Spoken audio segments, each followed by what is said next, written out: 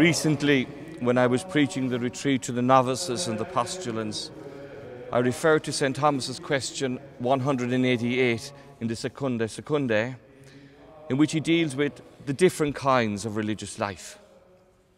And I dealt specifically with Article 6, in which he asks whether a religious order that is devoted to the contemplative life is more excellent than one that is given to the active life. As we can expect from St. Thomas, he makes all his very important distinctions. But in the heart of the corpus of the, of the article, he states, we must say that the work of the active life is twofold.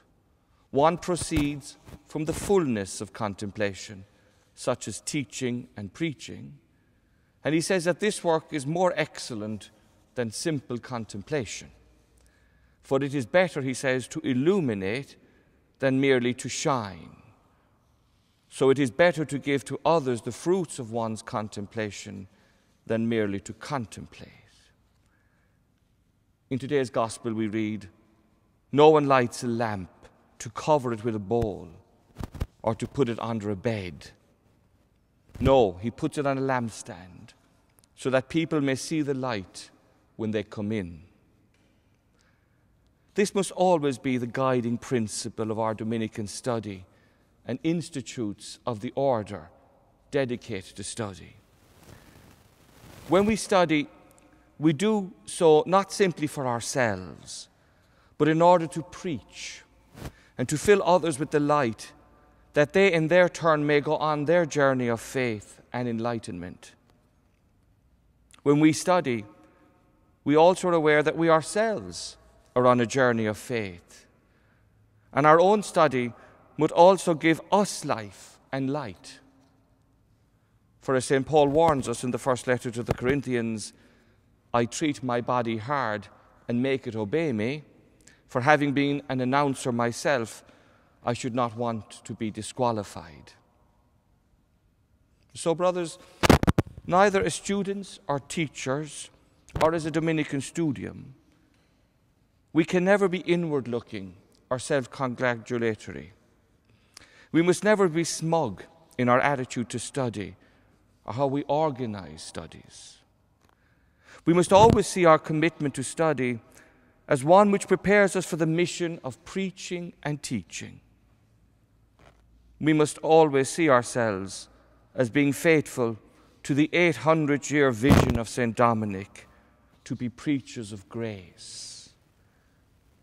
We must remember that we are to be actively interested in the well being of our brothers and sisters to whom we have been graced to be called to preach. I hope that over the years we have developed such an attitude in our Dublin based Dominican Studium. It is wonderful that we have here, first of all, a Dominican community which prays and lives together in fraternal charity. Our study can never be seen in isolation from the other pillars of Dominican life of prayer, community, and mission. And in this, I would like to thank the prior and priors and community who, over the years, have supported the mission of the studium by example to all of us who are involved in the work of the studium. Our community life is not an optional extra, but an integral part of what it means to be a Dominican studium. Hand in hand with the work of teaching is the mission to be a formation community. And this I wish to thank those who have worked with me over the years to develop an integrated approach to formation and study. Never seeing these as isolated issues, but rather in the forming of preachers for the mission, men of prayer and study, men of teaching and preaching, men of liturgy and private prayer. During the recent priestly ordinations of our eight brothers, Archbishop Rivas presented us with this beautiful carving of the hound with the burning torch in his mouth, reminding us that the light we are called to bring is to be burning. A light can be at times innocuous, an inoffensive light among other lights. But when it is a burning torch, it is different. It not only brings light, it also brings heat. And what it touches, it burns. And so it can be dangerous. Dangerous to allow the fire of the gospel to take deep roots in our hearts and in our words. I pray that our study and prayer, that our community and our mission may always be dangerous, awakening us from any false security or inertia. This is the light of study that I would like to see us involved with in the studium this academic year. A life that causes you and me to be burnt, to be alive with a fire that is alive, and that brings light and life and deed that burns others when we preach the gospel, when we witness by our lives. I have been very impressed over the years by the evangelizing spirit of the students as they have brought their gifts and enthusiasm to the mission of this house, as it reaches out to carry the light of the gospel to our modern age, facing our modern questions.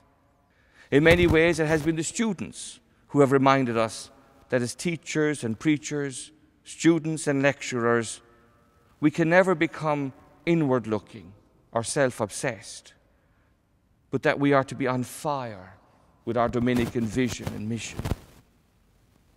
The younger brethren, coming from the real questions of their generation, have challenged us all as Dominicans to be preachers. They have come to us burning and challenged us to be reformed in the heat of the gospel, which may have become too comfortable for us. We have may got used to sitting by a fireplace, but not having a burning torch in the mouth of some young and agile puppy. In our mission, in this house, a mission I believe we have not just for the Irish province, but for the whole of Ireland. We have been blessed with the presence of our brothers from Malta and Poland and Slovakia. We've been blessed with our brothers, our Benedictine brothers from Silverstream, and of our brother Franciscan from the Conventual Friars. Who knows what the future holds for the mission of this house to the wider Irish Church as a centre of academic and pastoral activity? On our staff, there are members from the province who give so willingly of their time and experience, as well as from various branches of the Dominican family, together with theologians, men and women, ordained and non, those with families, all imbued with the Dominican approach to study, which is the desire to illuminate and to be illumined ourselves. To one and all, I thank you for what you have given to the mission and the vision of the studium. As I pass on the torch, I pray that this house and this studium will continue to be a place of light and life, a community that reaches out in faith bringing the light of the gospel into the world of modern things. That we will continue to be a place that burns, burns with the love of God, burns with the hope of the gospel, burns with the challenge of the gospel.